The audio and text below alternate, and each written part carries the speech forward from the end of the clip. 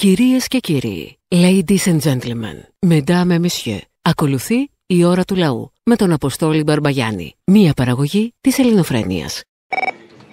Έλα, πώ το λέει, καλησπέρα. Καλησπέρα. Το να είσαι κάθαρμα όπως είναι ο Κυριάκος το ξέραμε εδώ και χρόνια. Δεν μας πειράζει αυτό. Το να είσαι την βορύχο όμως, αυτό είναι κάτι το οποίο ξέρεις μόνο αυτός θα μπορούσε να το κάνει. Γιατί στο διάγγελμά του γυρνάει και λέει ότι πήγα, λέει, στο νοσοκομείο στους συγγενείς των θυμάτων, λέει, και μου είπαν, λέει, ποτέ ξανά. Συνάντησα συγγενείς των θυμάτων και των αγνοωμένων στο νοσοκομείο της Λάρισας. Μέσα στον ανίποτο πόνο τους, με περίσευμα αξιοπρέπειας, με ρώτησαν γιατί και μου είπαν ποτέ ξανά. Με ποιο δικαίωμα γυρνάει και λέει τέτοιο χοντρό ψέμα στον κόσμο, σε διάκημα το οποίο το βλέπει εκατομμύρια λαού. Το νοιάζει, δεν το νοιάζει. Τα αρχίδια του, το ξέρουμε αυτό. Αυτό είναι το ένα. Και το άλλο θέλω να σε ρωτήσω, τώρα το Σαββατοκύριακο που θα έρθει, ο Αυτιάς θα τον καλέσει το Χατζηδάκι. Τι λες; Να πει πάλι τι ουέ. Ε, τι, τι να πούμε, δηλαδή δεν μπορώ να. Ε, τι, ου, Μάλιστα, καταλαβαίνω. πιστέψω- Αντιλαμβάνομαι. Δεν αποκλείεται. Δεν ξέρω, θα τον καλέσει. Εσύ το αποκλείς; Όλα Εγώ παίζουν. δεν, δεν το αποκλείω καθόλου και περιμένω και από τον Αυτιά να του φτιάξει και λίγο έτσι το προφίλ του, γιατί μάλλον το χαλάσαμε λίγο του μικρού μας βουτυρόπεδου.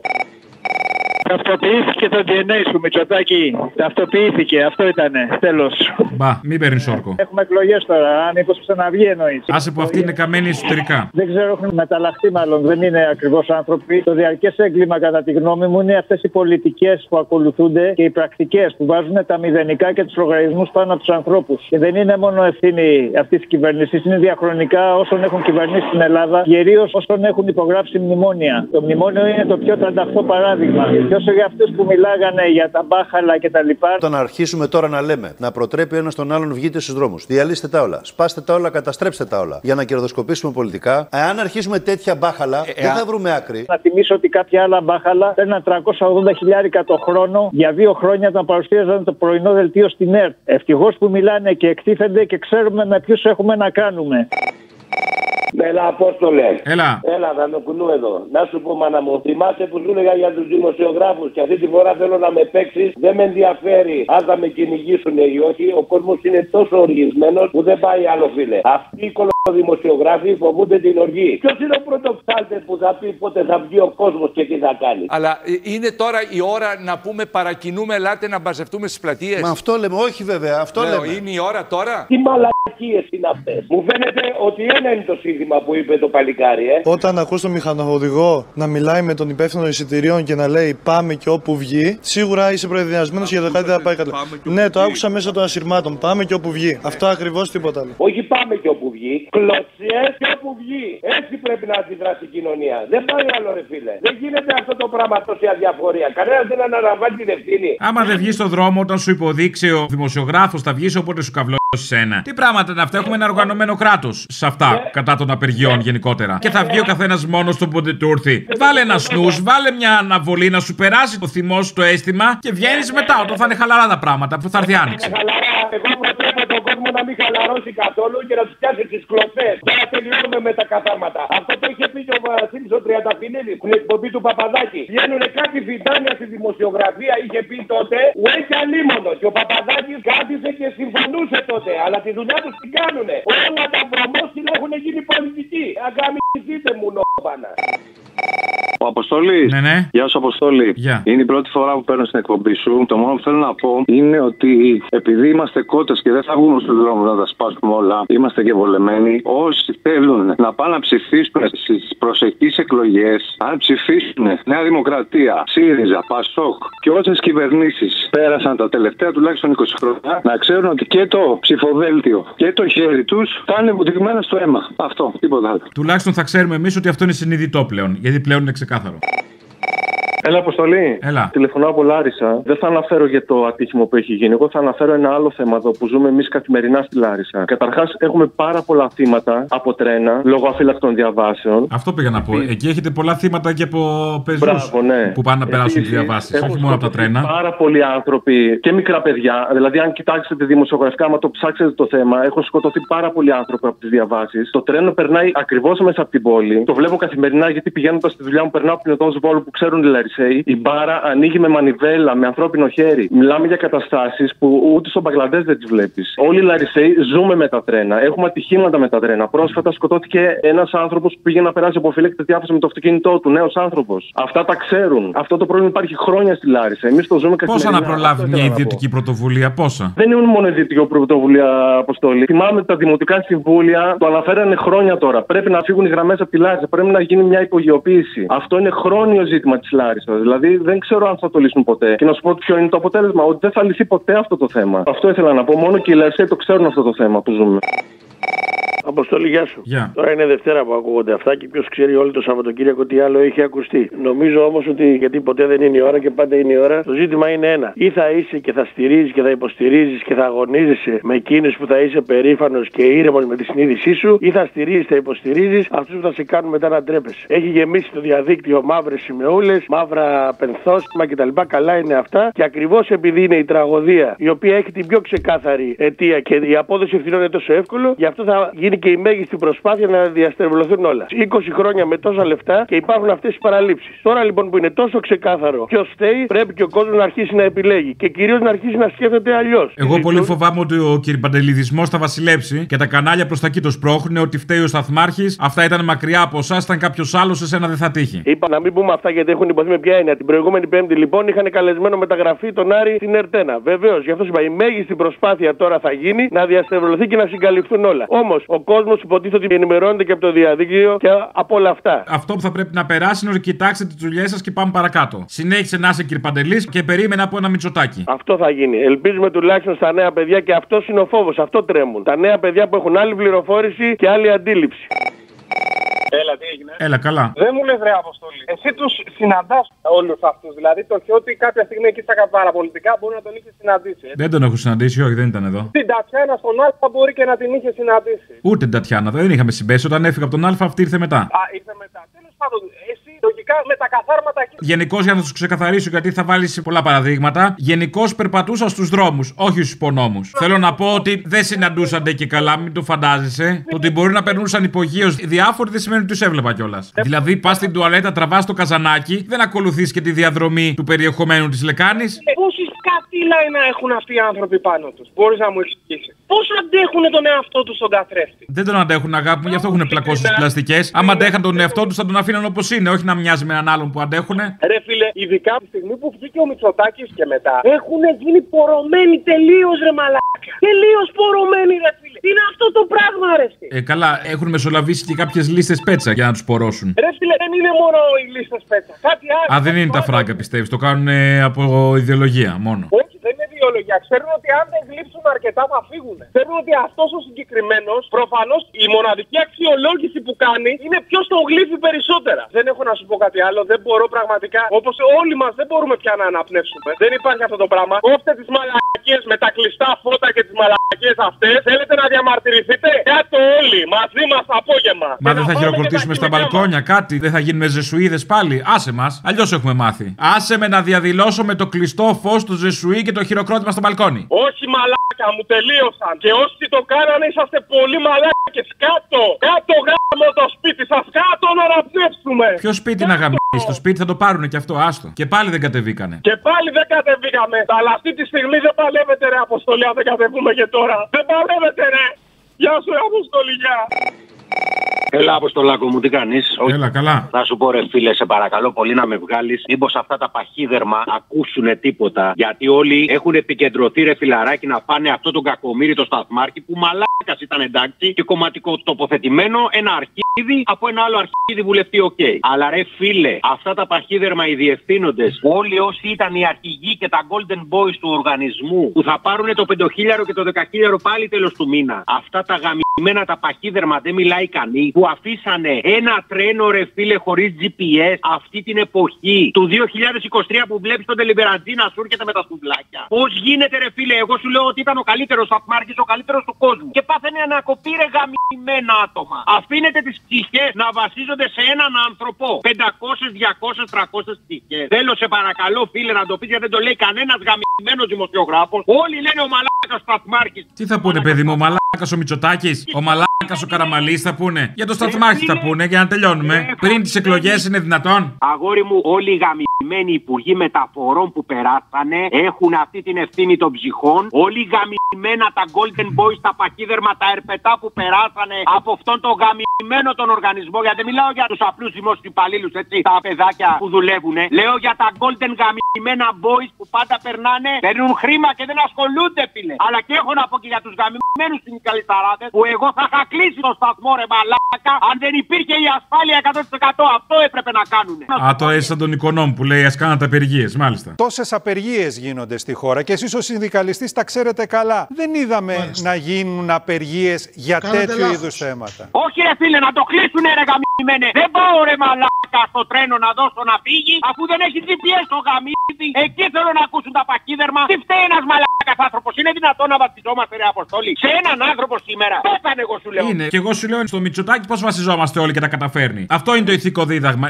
Γίνεται όλοι Μωησίδε, σαν το Μητσοτάκι. Σωτήρες για όλα. 20 χρόνια πρέπει να πληρώσουν όλα αυτά τα αρχίδια που περάσουν. Ναι, ναι, μην πληρώσουν πολύ, μην κάνεις όρεξη. Ε, ναι, ρε μαλάκα, θέλω να ακουστώ γιατί όλα οι γαμημένα τα κανάλια λένε για τον μαλάκα του Σταθμάρ. Καταρχήν, κρίμα που δεν υπάρχει τηλεοπτική ελληνοφρένεια. Να σε δω με το πετραχίλι, να έχεις τα γόνατα τον κούγια και να τον εξομολογείς. Είδες τώρα. Πρέπει να τον εξομολογήσεις. Λοιπόν, να σου πω, εγώ είμαι επαγγελματίας οδηγός και πολλές φορές θα το πω έτσι χοντρά, μπα και το καταλάβουν τα ζώα. Παραλαμβάνω παιδιά από το κολέγιο Αθηνών να τα πάω σε κάποιο σπίτι. Εάν ο δρόμος δεν είναι σωστός, εάν ο δρόμος δεν πηγαίνει, εάν ο δρόμος γλιστράει, εάν ο δρόμος οτιδήποτε, θα πάω την κούρσα για να πάρω τα 20 ευρώ ή τα 30 και θα σκοτώσω το παιδί του πελάτη. Εγώ ρωτάω. Η εταιρεία δεν ήξερε ότι οι γραμμές λειτουργούσαν στα τυφλά. Δεν το ήξερε γιατί αυτό δεν το λέει κανένα. Θα ασχοληθεί τώρα η εταιρεία με τις γραμμές, παιδί μου. Η εταιρεία θα ασχοληθεί με τα εισιτήρια, με τα κέρδη. Τώρα, αλήθεια. Έλα σε παρακαλώ τώρα, θα κάθε κάθε εταιρεία να χάνει χρόνο τώρα για τις ζωές των ανθρώπων. Να μου πει ο κάθε πλούσιος πελάτης που παίρνω το παιδί του μέσα στο ταξί να το σκοτώσω για να πάρω τα 20 ευρώ. Να μου το πει. Κι άμα είναι να το κάνω και όλα θα το καταλάβει. Ναι, Αποστόλη. Έλα. Δεν το πιστεύω, πραγματικά. Παίρνω να πω ένα πράγμα. Εγώ είδα τις προάλλες το ονοματάκι του Προέδρου της Hellenic Train, πώς τον λένε, να λύνει συλληπιτήρια. Τον λένε Ντάριο Λομπόσκο, τον κουκλάρο και μου βγαίνει ένας τύπος πραγματικά πολύ ενδιαφέρον. Με ένα άρθρο στη Ρεπούμπλικα πριν από μερικά χρόνια που τον είχαν δέσει για κομπίνες στα τρένα στη Σκελία. Και τον στείλαν στην Ελλάδα. Καλή διαδρομή πάντως από τις Σικελίε στην Ελλάδα. Δηλαδή, ο καθένας έχει την κοζανόστα του. Αποστόλη, Έλα. λήψη, ορχή. Και σύψη. Ε, για αυτό που έγινε, για μένα, αυτό το λίγο που θα μπορούσα, αν μου δινόταν ευκαιρία και είχα ένα μικρόφωνο σε τηλεόραση ή σε ραδιόφωνο που έχετε εσείς, θα έλεγα Σιμίτης, Καραμαλής, Μητσοτάκης, Παπανδρέου, Σαμαράς, Βενιζέλος, όλοι αυτοί που υπήρξαν πρωθυπουργοί τους ψηφίσαμε εμείς οι μαλάκιδες, όλοι αυτοί πρέπει να πάνε στη φυλακή. Και τους ψηφίζουμε εμείς. Όλοι αυτοί είναι εγκληματίες. Τα σκοτώσανε τα παιδιά, του κάτσανε στο μάτι, στη Μάντρα, στο Σάμινα Express, στο Super Fast στην Πάτρα που καήκαν οι άνθρωποι, λιώσανε οι λαμαρίνε και λιώσανε οι άνθρωποι, οι οδηγοί και όλα αυτά που γίνονται και θα γίνονται. Η ώρα του λαού σε λίγο και πάλι κοντά σας. Commonalty time will be a little again near you. Le temps du peuple, dans le peuple, près de chez vous. Έλα, μάνα μου!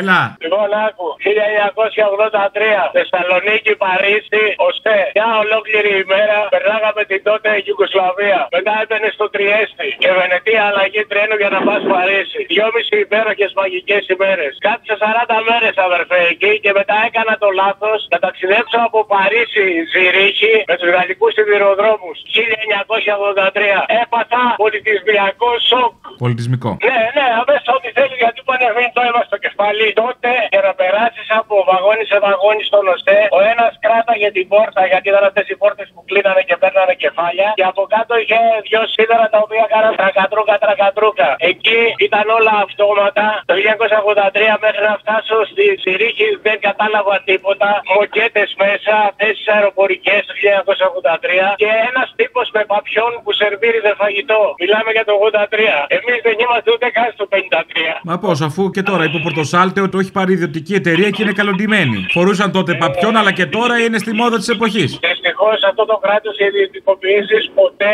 δεν γίνανε ούτε ποτέ θα γίνουν για το καλό του λαού. Οι ιδιωτικοποιήσεις γίνονται για το καλό κάποιων άλλων που φυσικά δεν είναι λαός. Όλα τα άλλα είναι να είχαμε να λέγαμε. Δηλαδή την έμφαση στην εικόνα θα τη δώσουμε ότι το φοράει το καλό τον τίσιμο. Τώρα αν έχει γραμμές, γάματο. Αφού είναι καλοντημένος και άρα ανάπτυξη.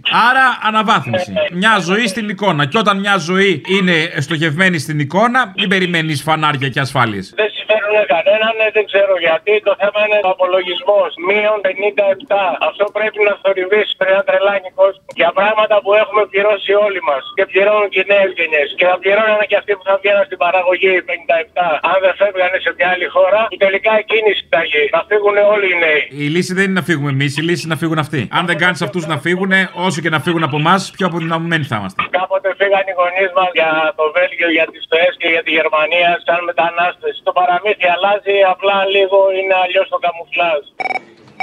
Ναι, γεια σας, παραπολιτικά. Ναι. Θα ήθελα να σχολιάσω κάτι με ακροατής, αν μπορούμε να το μεταφέρουμε. Του κυρίους στην εξαιρετική εκπομπή που κάνουν, ότι όλα αυτά που περιγράφουν συμβαίνουν σε όλες τις εκφάνσεις του κράτους. Από τα λέω πάρει τα τρίπια που είχε πάρει ο Τσοχατζόπουλος καινούργια από τους Γερμανούς, ενώ θα μπορούσε να πάρει έξι φορές περισσότερα ελαφρώς μεταχειρισμένα, και τα οποία τα έδωσε στο Μυτιλινέο Κιθωράκη τους ήταν τρίπια. Δηλαδή δεν υπάρχει ούτε εθνική άμυνα ούτε τίποτα. Τώρα έκανε μία σύμβαση option για να πάρει τα F-35 που είναι άχρηστα μπροστά στα Ραφάλ. Θα μπορούσε να πάρει τρεις φορές περισσότερα Ραφάλ με αυτά τα λεφτά που αποφασίζει να πάρει όπλα. Πετάνε τα λεφτά όπου βρούνε, όπως βρούνε, χωρίς Και όχι όπου βρουν, μισό λεπτάκι. Τα τρένα μας κάνουν υπερήφανους να πάρουμε σωστά τρένα με συστήματα. Τα ραφάλ μας κάνουν υπερήφανους. Πετάνε πάνω από την παρέλαση. Το τρένο. Θα έλεγα τι κάνουν, χωρίς όπλα, αγαπητέ. Το τρένο ούτε από τα τέβη δεν μπορεί να περάσει. Έλα σε παρακαλώ. Κάποιος υπάλληλος πάντα θα ξεχάσει ακόμη και να στείλει τις σφαίρες για τα Ραφάλ. Και στα ραφάλ ο υπάλληλος είναι το πρόβλημα, κατάλαβα. Και τον Τούρκο θα το χαιρετάει γιατί κάποιος δημόσιος υπάλληλος θα ξεχάσει να στείλει μια έγκριση για σφαίρες. Αυτή η κομμωδία στην Ελλάδα δεν αποκλείεται, όντως. Δυστυχώς. Θα χαιρετάει τον Τούρκο και θα του κάνει ου. Είναι κρίμα. Πετάνε τα παιδιά μας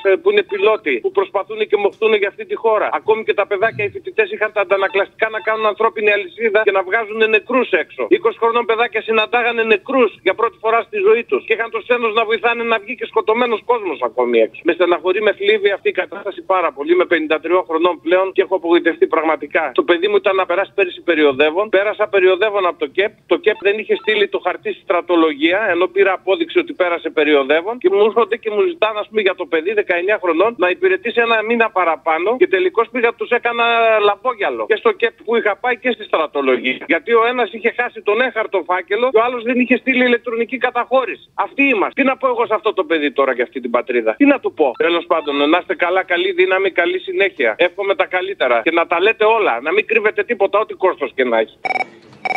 Ε, Αποστολή. Έλα. Μια ώρα να το σηκώσεις και ταλαιπωριόμαστε. Λοιπόν, έλα να σου πω, καλό μήνα συλληπιτήρια στι οικογένειε όλων των ανθρώπων και αυτοί οι άνθρωποι, στον πόνο που έχουν για τα παιδιά τους, να δείξουν στην κάλπη τι αξίζουν αυτοί που μας κυβερνάνε. Και κάτι άλλο ακόμα, να ξέρουν ο Δογιάκο και όλοι αυτοί που είναι στον Άριο Πάγο ότι ο λαός βλέπει και ακούει. Και όταν θα έρθει μια άλλη κυβέρνηση, αυτοί να ζουν για να δουν στο σκαμνί της δικαιοσύνης τον εαυτό τους να τους δικάζουν κάποιοι άλλοι έντιμοι δικαστές. Δεν μπορούν οι δικαστές του Άριου Πάγου να παίρνουν τα σπίτια γιατί αυτοί παίρνουν τα σπίτια. Δεν τα παίρνει η κυβέρνηση. Αυτοί να ψηφίζουν υπέρ των φαν, να πάρουν τα σπίτια των ανθρώπων, να μην τους νοιάζει καθόλου και να δείχνουν τώρα ότι νοιάζονται για το λαό, για το δυστύχημα που έγινε. Και φέρνει και ευθύνη και η εταιρεία η οποία χρησιμοποιούσε αυτό το άθλιο δίκτυο. Όχι ότι αυτοί έχουν μια σύμβαση και είναι στο απειρόβλητο και τους έχει δώσει και 850 εκατομμύρια να τους κάνει πιο πλούσιους από τη φτώχεια του ελληνικού λαού που θα μπορούσε από τα 54 δις που χάρισε στι τράπεζες όλα αυτά να τα δώσει για την υγεία, για την παιδεία, για τους υδροδρόμου, για τα πάντα να κάνει μια χώρα άλλη. Αλλά τη χώρα άλλη θέλουν να την κάνουν χωράφι. Και δεν έχουμε έντιμους πολιτικούς. Δυστυχώς. Ούτε δικαστές.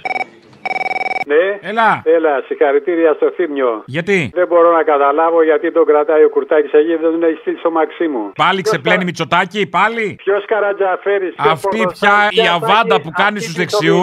τύπου προπαγάνδα υπέρ του Μητσοτάκη παραμονές των εκλογών. Ότι είναι κατά του Πολάκη είναι υπέρ του Μητσοτάκη. Κάνε αγόρι μου μια πρόταση στο Κουρτάκη να το διπλασιάσει. Για πες μου λίγο, απάντα μου λίγο σε αυτό. Ότι είναι κατά του Πολάκη είναι υπέρ του Μητσοτάκη. Για να καταλάβω το βαθμό του σανού που σας ταΐζουνε. Πιανού παιχνίδι παίζει τώρα ο Θήμιο εκεί. να Απάντησέ το μου λίγο αυτό, δεν θα πούμε τίποτα άλλο αν δεν απαντήσεις αυτό. Ότι είναι κατά του Πολάκη είναι υπέρ του Μητσοτάκη. Βεβαίως είναι. Ευχαριστώ πολύ. Επόμενη γραμμούλα. Δεν τζακίσω το φρύδι μου. Το Αποστολή. Έλα. Έλα, ρε άντρακλα. Αχ, εγώ ναι. Εσύ είσαι. Ναι, το άντρα. Στο ρε άντρακλα. Ήθελα να κάνω ένα άπνο, ρε φίλε. Επειδή το λέω παντού, αλλά κανένας δεν μ' ακούει να πούμε. Τι να κάνεις, δεν ακούστηκες; Να κάνω ένα παράπονο να πούμε. Α, κάνε, γιατί κάνε. μετά δεν ακούγομαι. Μ' ακού- Ούτε εδώ ακούγεσαι. Αλλά τέλος πάντων. Για προσπάθησε να δούμε αν θα ακουστείς. Μάλλον δεν έχει σήμα, γι' αυτό δεν ακούγεσαι. Θέλω να σταράξω. Δεν είναι προσωπικό δηλαδή.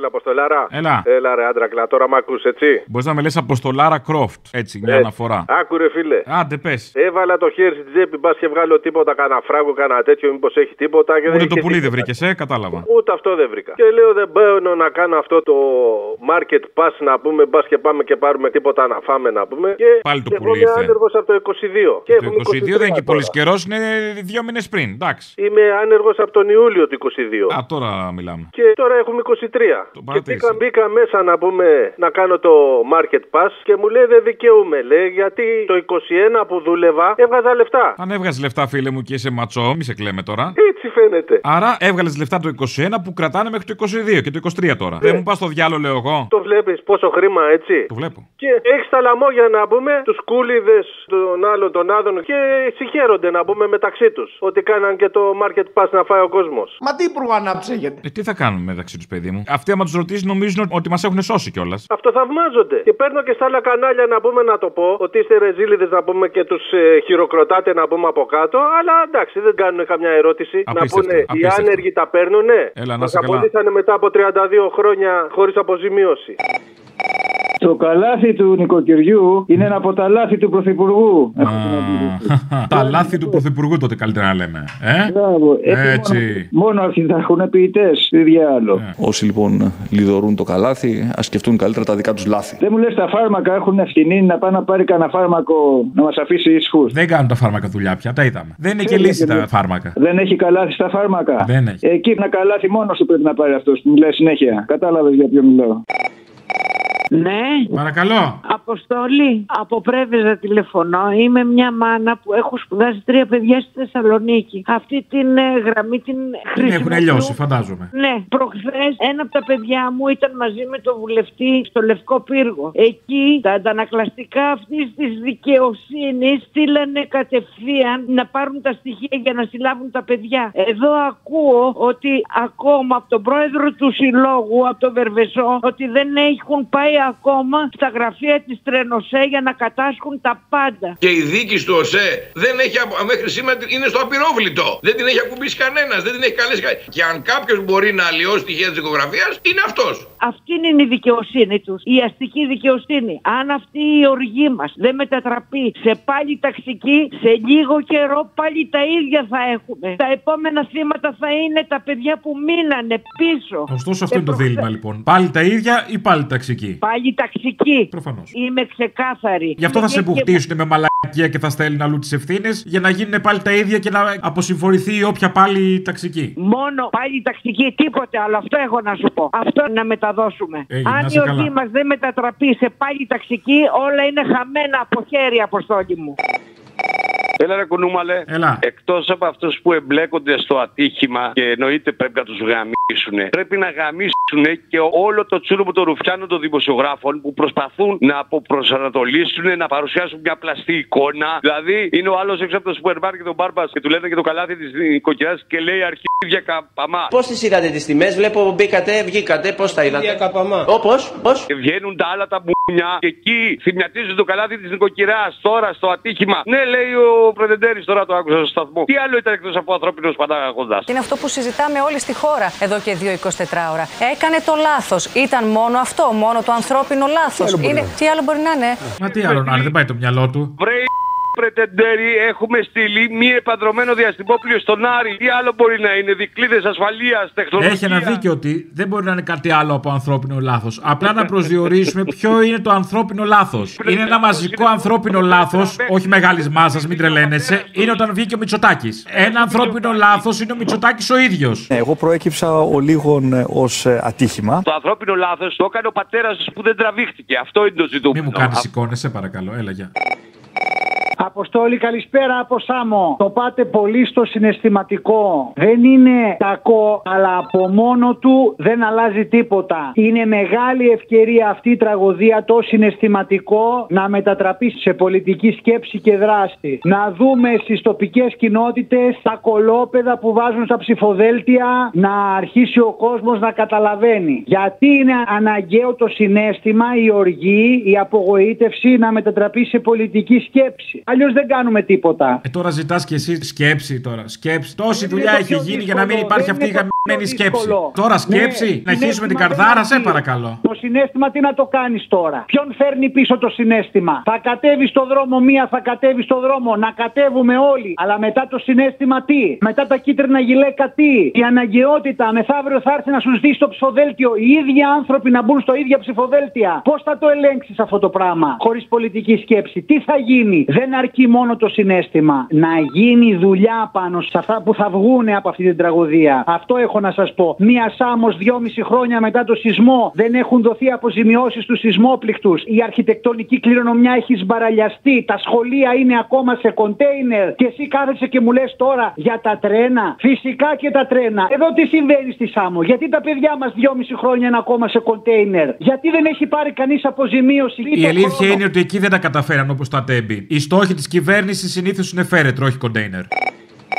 Ναι. Λέγεται. Ήθελα μια παρέμβαση στην ελληνοφρένεια να κάνω. Ε, για κάντε. Πρώτα πρώτα είμαι μητέρα που έχω χάσει το παιδί μου στο αεροπορικό ατύχημα που έγινε το 97 στα Πιέρια Όρη. Εκεί ψάχνανε μία εβδομάδα να βρούμε το αεροπλάνο που είχε πέσει. Ήταν υπουργός ο Πελτσάνικο του Πασόκ, οι οποίοι τρογοπίναν απάνω μπύρες και αυτά και δεν τους ένοιαζε τίποτα τι γίνεται. Κάτω με τον κόσμο που είχαν κλείσει μέσα και περιμέναμε να δούμε αν ζει κάποιος δικός μας ή όχι. Το λάθος που έπεσε το αεροπλάνο ήταν η αιτία που υπήρχε ένα ραντάρ προσγείωσης που δεν το είχαν τοποθετήσει. Αποκλείεται. Ο πύργος ελέγχου θα έφταιγε. Ανθρώπινο λάθος θα ήταν και τότε. Από τον πύργο ελέγχου κανένας δεν δικάστηκε. Όλοι γελούσαν μάλιστα στο δικαστήριο στη Θεσσαλονίκη που έγινε, οι νεαροί που ήταν μέσα, γιατί λέγανε ότι δεν έφταιγαν αυτοί. Εν πάση περιπτώσει, ακόμα ήθελα να πω ότι δεν έχουν πάρει κανένα ραντάρ προσγείωσης. Είναι αγορασμένο και είναι αποθηκευμένο σε ένα υπόγειο. Ε, το έχουμε για ώρα ανάγκης. Δεν τους νοιάζει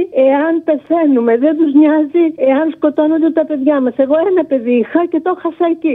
Δεν του νοιάζει τίποτα. Απολύτως τίποτα. Δεν λυπούνται κανέναν ε, παρά μόνο την πίστα τους και μερικούς ανθρώπους που είναι τριγύρω τους και τα λαμόγια οι οποίοι τους στηρίζουν. Τα παραλέτε, δεν θα ήθελα. Καλησπέρα. Καλησπέρα. Πέρα το ότι είμαι συγκλονισμένη, αλλά με αυτά τα καθήκια που βγάζετε τώρα και αναφέρουν όλα αυτά, αύριο η ΘΙΑ έχει προκηρύξει απεργία; Όχι. Δεν έχει προκηρύξει. Όπου βρείτε τους, χτίστε τους. Χτίστε τα καθήκια αυτά όλα. Όλη μέρα πυρ, πυρ, πυρ, πυρ, πυρ, πυρ, πυρ, μέσα στα κανάλια κάνουν τον εγκέφαλο των ηλικίων. Το κάνουν τεράστιο και τους δίνουν και δίκιο. Είμαι δύο μέρες με τα παιδιά του μουσικού σχολείου, γιατί πάει εκεί η εγγονή μου και όλα τα παιδιά της δράμα στους δρόμους, παρότι το πρόβλημα που έχω, και θα είμαι συνέχεια εκεί. Καλό κουράγιο στι μάνε, καλή δύναμη και όλοι αύριο στο δρόμο. Όλοι, όλοι. Δύο μέρες, τρεις μέρες και το Σάββατο κατέβηκα και χθες και σήμερα και σας παρακαλώ πάρα πολύ. Μην το ξεχάσετε. Σας ευχαριστούμε που είστε εσείς και μας δίνετε αυτή την ενημέρωση, Αποστόλη. Έλα, Αποστολή. Έλα. Καλησπέρα καταρχήν. Καλησπέρα. Συλληπιτήρια στις οικογένειες όλου του κόσμου. Είναι η δεύτερη φορά που σε μιλάω. Αριστερή καραβάνα. Θέλω να πω κάτι σχετικά με τα αρχίδια τους δημοσιογράφους και δεν συγκαταλέγω σε αυτούς και εσάς, ούτε σε ένα του το θύμιο. Τετάρτη πρωί ξημέρωσε στο Πόρτο Σάλτε με τον άλλο τον οικονόμου. Ρωτούσαν ε, πατέρα επιβάτη που σώθηκε ευτυχώς. Ο γιος σας ε, πήρε από το δικό του τηλέφωνο ή από άλλο; Είδε πτώματα. Ήταν καμένοι δίπλα τους. Τι είναι αυτά, ρε. Τι ζούμε. Γαμώ το φελέκι τους. Δηλαδή πραγματικά τρελαίνομαι. Επειδή μεγάλωσα μέσα στα τρένα, το σπίτι μου μεγάλωσα ήταν 200 μέτρα από το σταθμό στη Λάρισα. Την πρώτη φορά που έσπασα χέρι, το έσπασα πάνω σε μια ράγα. Τα έχω ζήσει. Χρησιμοποιούσα πάρα πολύ το τρένο μέχρι που πήρα αυτοκίνητο και πέρυσι ξανά άρχισα να τα χρησιμοποιώ τα τρένα συστηματικά δύο φορές την εβδομάδα από Θεσσαλονίκη προς Αθήνα. Γιατί. Γιατί σ' αρέσουν οι τα άλλοι ρίσκα; πάνε, Το εμπιστευόμουν πιο πολύ. Και καλά έκανες από ό,τι φάνηκε. Αλλά επειδή η άλλη κεραμαίο αποφάσισε να στείλει την γυναίκα μου με τα δύο παιδιά 800 χιλιόμετρα μακριά από το σπίτι μας, το χρησιμοποίησα ξανά. Όσες φορές το χρησιμοποίησα, δύο φορές το μήνα κατά κανόνα, πάντα είχα κάποιους διαπληκτισμούς με το προσωπικό μέσα στο τρένο. Πάντα κάτι να διαφωνήσουμε ή μια καθυστέρηση, κάτι με την ανταπόκριση, οτιδήποτε. Το κοινό που είχαν όλοι αυτοί οι διαπληκτισμοί με τον κόσμο μέσα με τους υπαλλήλους ήταν ότι ήταν μαζεμένοι. Ήταν σαν να τους κρατούσε κάτι. Δεν ξέρω αν ήταν δημόσιες σχέσεις ή δεν τους επετρέπαν να ανοίγονται στον κόσμο, αλλά αυτό ήταν το κοινό σε όλους. Και ένας από αυτούς μια φορά μου είχε πει: Παλικάρι μου, τα ξέρω όλα αυτά που μου λες. Και εμείς τα λέμε και στην εταιρεία και παντού. Δεν μας ακούνε. Κανείς δεν μας ακούει. Γι' αυτό και εσείς ως επιβάτες, ως ταξιδιώτες, κάντε αυτό που μπορείτε. Κάντε παράπονα στους σταθμούς. Κάντε αναφορές. Εκείνη την ημέρα είχα κάνει αναφορά. Κατέβηκα από το τρένο χωρίς νεύρα. Είχα κάνει αναφορά στο σταθμό της Συνόης που έπαιρνα την ανταπόκριση για χαρκίδα. Μα απάντησαν μετά από κανένα μήνα βέβαια. Με γράψανε στα τέτοια τους βέβαια. Αλλά εκείνος ο άνθρωπος φάνηκε ότι είχε αγανακτήσει και ο ίδιος πριν ένα χρόνο. Και αυτός ο άνθρωπος αυτή τη στιγμή μπορεί να είναι μέσα στους νεκρούς, δεν ξέρω το όνομά του. Δηλαδή πόσο ξεφτύλας μπορεί να είσαι. Όλοι στου δρόμους, όπως λέει το παλικάρι αυτό που βγάλατε νωρίτερα, όλοι στου δρόμους γάμο το φελέκι τους γάμο το. Γεια σου, Αποστόλη. Γεια σου. Καταρχάς, σε είδα στο κύτταρο. Με Ναι. την κόρη μου ήσουν καταπληκτικός. Πάντα τέτοια. Και αυτή την Παρασκευή η τελευταία παράσταση στο κύτταρο. Είχα πάει πριν κάνα 20 ημέρο. Ε, τώρα είναι η τελευταία. Άντε, με το καλό να ξαναρχίσεις αλλού. Ο Καραμαλής, πού βάζει υποψηφιότητα για να πάω να κάνω μετεγγραφή. Στις αίρες, στις αίρες. Στις αίρες, αδερφές μου, αίρες. στις αίρες. Έχω φύγει. Έχεις φύγει είσαι το παιδί, έχει φύγει το παιδί; Κάνω- Όχι. ε, Α, ναι, δεν ναι, είσαι το παιδί. Δεν είμαι το παιδί. Θα γίνω το παιδί για χάρη του Να πας. Καραμαλή να πάω να τον ψηφίσω, βεβαίως. Με τα δύο, ε, όχι με το Βέβαια. Ένα, είναι κρίμα. Με τα δύο και με τα τρία. Και με το μεσαίο πόδι. Όπα, Έλα ρε Αποστολή μου. Έλα. Έλα, τι μου κάνεις, καλά; Καλά. Έχω να πω κάτι στον Κούγια. Αυτά μου κάνεις τώρα και μετά θα με παίρνει τηλέφωνο πάλι. Είχα όρεξη νομίζω. Ναι. Έχω να πω του Κούγια την Επιτροπή Εμπειρογνώμων να βάλουν οι γονείς των αγγέλων που χάσαμε. Όχι λέει ο Μητσοτάκης αυτό που βάζει. Στον Κούγια, γιατί να το πούμε αυτό; Γιατί ο Κούγιας έχει αναλάβει 15 οικογένειες. Και ένα άλλο. Αυτοί οι κεραμένοι μόνο είχαν νόμους και διατάξεις θέλει να βγάζει. Τι θες να κάνεις, θες να διοικήσεις και την παιδεία, μήπως, έλα σε παρακαλώ. Να πάει στους φοιτητές ένα λουλούδι ρε που ήταν Α, καλά. Είσαι βαθιά ανοιχτωμένος. Έκανε προσευχή. Τι άλλο θες να κάνει; Η προσευχή μου όλη. Ε, έκανε προσευχή, αυτό μπορεί. Ρε αυτοί είναι μασόνοι όλοι καταλαβαίνετε. Ε, γι' αυτό έκανε προσευχή. Επιτέλους έχουμε κράτος. Να τους χαίρονται οι νεοδημοκράτες που τους ψηφίσανε. Πεθαίνουν τα παιδιά μας. Δεν πεθαίνουν τα παιδιά μας, σκοτώνονται τα παιδιά μας. Τα σκοτώνουν τα παιδιά μας. Αυτό, αυτό ήθελα να πω, ναι. Η ταινία λέγεται Μπολερό. Η ελληνική μετάφραση είναι η Μεν και η Δε. Και προτείνω στους ακροατές να την δουν. Είναι τέσσερις ώρες. Εκεί ακούγεται και το Μπολερό που βάλατε επιτέλους προηγουμένως του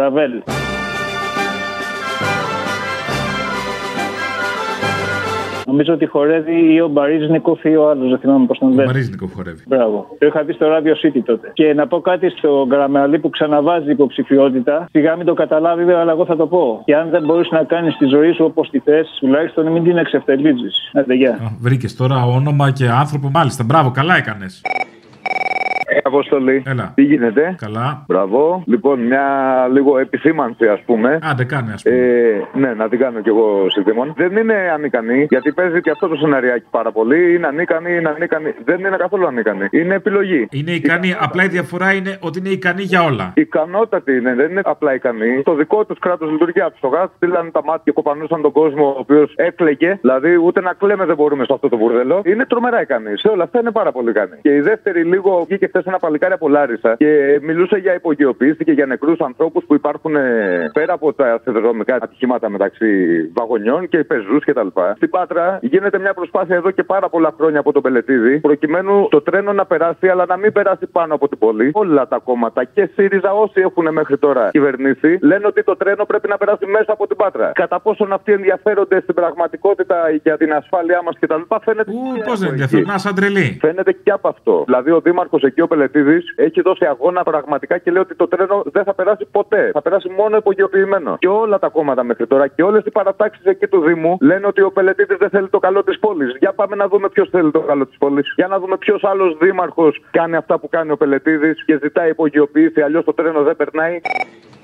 Καλησπέρα, ο Αποστολής. Ναι, ο ίδιος. Ελληνοφρένεια δηλαδή. Ναι, ναι, αυτό. Ονομάζομαι Αριστοτέλης. Σας ακούω από Κατερίνη εδώ για αρκετό καιρό. Και σήμερα πήρα και εγώ να πω συγχαρητήρια για την εκπομπή σας. Πρώτη φορά σας πετυχαίνω στο τηλέφωνο, Αποστόλη μου. Αυτό που έλεγε και χθες με τρεμάμενη φωνή ο τελευταίος ακροατής στην ώρα του λαού. Κατεβείτε όλοι στο δρόμο, φωνάξτε, φωνάξτε, φωνάξτε. Μην μείνετε πάλι μέσα. Φτάνει πλέον αυτή η γεροντική παλιά αντίληψη ότι καλός είναι ο Μητσοτάκης, καλός είναι ο Τσίπρας, καλός είναι ο Παπανδρέου. Τα νέα παιδιά, η νέα γενιά το δείξαμε. Και το ξαναδείχνουμε και θα το ξαναδείχνουμε. Πάμε όλοι κάτω, όλοι στο δρόμο.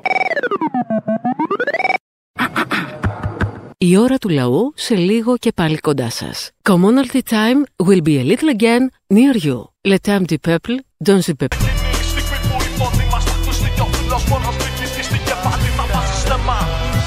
Μέσα στο τρένο Μέγα. βρισκόταν ο πατέρας μου και ο αδερφός μου. Δεν μας έχει ενημερώσει κανείς. Κανείς τους δεν ξέρει πόσα άτομα ακριβώς ήταν μέσα στο τρένο. Η εταιρεία συγκεκριμένα τους έχω πάρει τρεις φορές τηλέφωνο. Ο αυτόματος τηλεφωνητής μιλάει για ένα ασφαλές ταξίδι στην Ελλάδα. Το ασφαλέστορ για την ακρίβεια. Θα σας πάρουμε τηλέφωνο πίσω, κύριε. Τέσσερις φορές καταγράψαν το όνομά μου και ακόμα δεν έχει πάρει κανείς τηλέφωνο πίσω. Σ' αυτή τη μηχανή του κόσμου οι λαοί αντί για λάδι καίνε ανθρώπου αίμα Καληνύχτα και μάλ. Αυτός ο κόσμος δεν θα αλλάξει ποτέ. Αλλάζουν οι καιροί και θα έρθει η στιγμή κι ο δούλος θα είναι αυτός που βάζει στέμα Για τους συναδέλφους μας, τον Γιώργο, τον Δημήτρη, τον Νίκο, τον Σπύρο, τον Παναγιώτη, για όλους τους 57 νεκρούς μας, δίνουμε έργο. Δεν θα τους επιτρέψουμε να μην αντιμόρυτο το έγκλημα. Θα δώσουμε ό,τι έχουμε και δεν έχουμε για να γίνει πράξη το ποτέ ξανά.